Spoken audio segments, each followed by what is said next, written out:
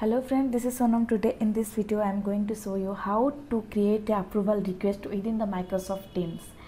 So that means we are going to create a approval request like this only. This is the preview of my approval request and we are going to create this approval request within the Microsoft Teams. We can set the approvers like a single approvers and multiple as well as so let's see how to create this approval request within the Microsoft Teams. So here I just log in my user ID with the Microsoft Teams that is Microsoft uh, tenant address and so here we will add this first we have to add this approval request approval application to this Microsoft Teams. For this let's go to that add more apps and find an apps here I can search approvals.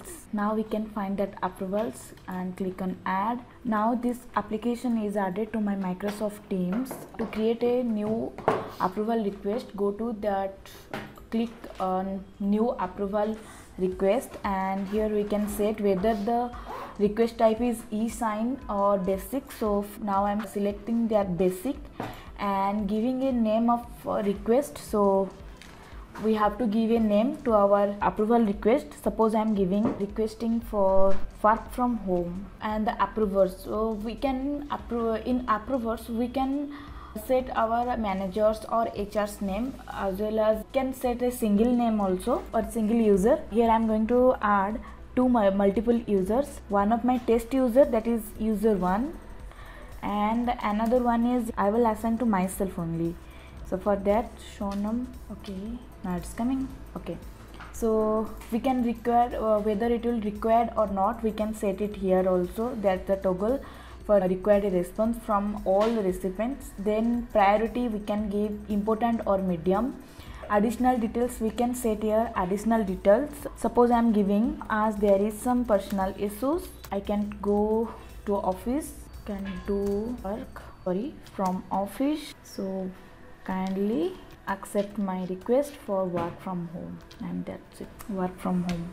Okay we can send here thanks. Even here we can set a custom response like uh, instead of reject or accept it will say, we can set yes not now but as for now i'm just off this toggle and we i'm not assigning any custom responses so let's uh, click on the send and this message this approval request will go to that the two person. That is one is in my it will show in my microsoft teams as well as in the user one microsoft teams.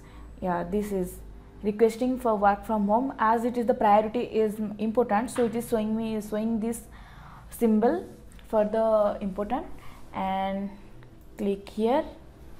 Okay it is showing this the responses. Who will be the response? This request so there are two persons two response. So first of all it is request and this is also showing us the who is requested this approval request. Okay. So take it simple. Okay request accepted. Okay let's approve this one. Click on approve. And similarly if i open my user one profile this is also showing the approval request. So this one is my user one. So where the yeah it is saying us saying it is showing us that requesting for work from home and sent you a request this one is important. And uh, yeah this one is showing all the details that we have. And this is also showing who else approved that request. Uh, here request approved for work from home. Like we can send this you are approved for work from home. Click on approve. Or you can reject it and both will both will show the both the notification and both the approval and rejection will show in the who the person who sent this approval.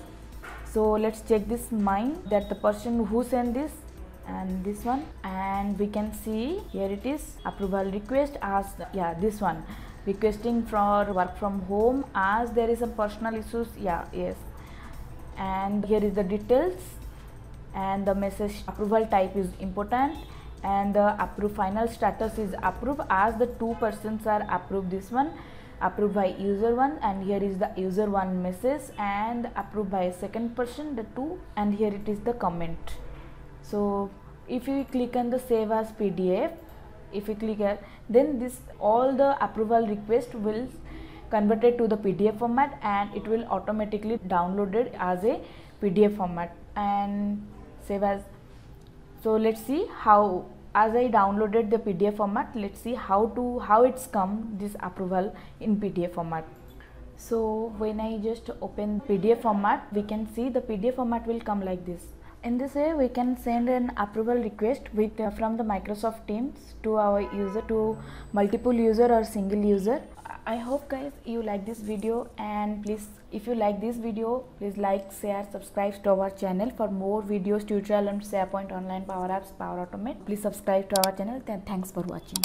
Bye